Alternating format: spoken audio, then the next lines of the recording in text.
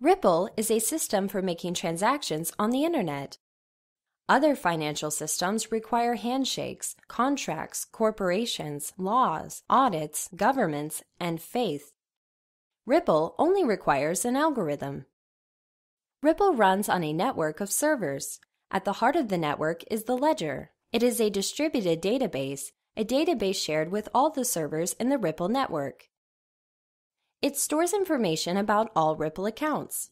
A new ledger is created every few seconds. The most recent ledger is referred to as the last closed ledger. At any time, the last closed ledger is a perfect record of all Ripple accounts. A transaction is any proposed change to the ledger.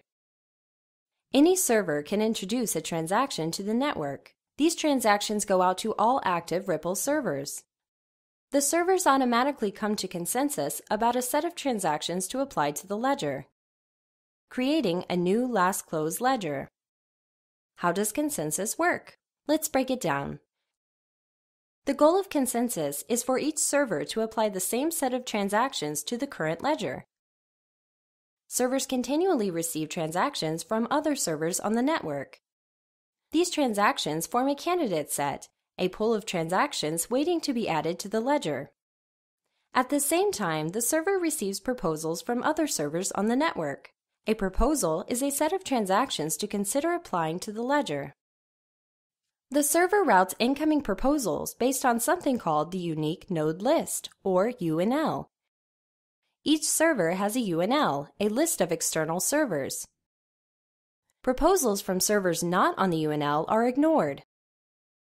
The server only pays attention to incoming proposals from the servers that are on its UNL. The transactions in the incoming proposals are compared against its candidate set. When a transaction in an incoming proposal matches a transaction in the candidate set, that transaction receives one vote.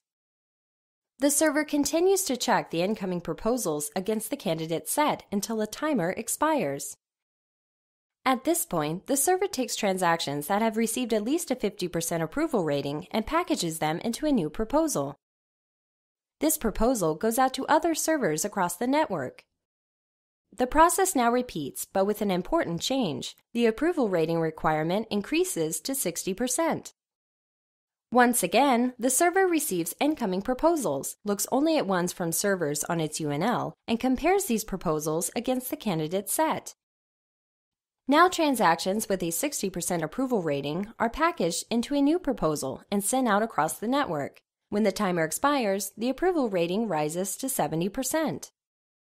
With each iteration, the proposals will have a greater similarity to each other, and the votes will increasingly agree. The inevitable outcome of this process is that disputed transactions are discarded from proposals while widely accepted transactions are included. The dissimilarity between the proposals quickly moves toward zero.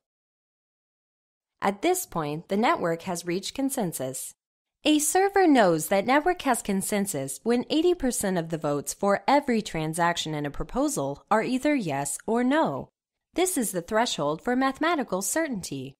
When a proposal hits the 80% threshold, the server validates the proposal, alerts the network, and closes its consensus process. This validated proposal is now applied to the last closed ledger. At this point, any invalid transactions are discarded and a new last closed ledger is created. Transactions that were not included in the ledger remain in the candidate set. All transactions that were received during the consensus process are added to the candidate set. And now the process starts again. For more information, visit ripple.com.